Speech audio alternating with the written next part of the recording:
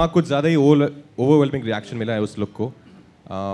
You know Dinu is a good friend Homi is a good friend तो जब उन लोगों ने मुझे बताया कि एक स्पेशल अपेयरेंस है और वो चाहते हैं कि मैं करूँ um, तो मैंने उनसे पूछा क्या है? Then they told me about this character and they showed me some reference look तो I was damn excited I thought ऐसा कुछ मैंने कभी किया नहीं है और ऐसा शायद कभी जल्दी से करने का मौका नहीं मिलेगा। बहुत एक्टर्स को नहीं मिलता है इतना इतना डिफ्रेंशिएट एक लुक में जाने का डिफरेंस डिफरेंट लुक में जाने का।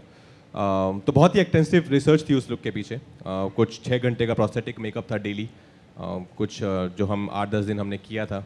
It was quite tough quite painful actually the experience but I think now when I look the reaction reaction I I see how people reacting to it, I think it was all worth it.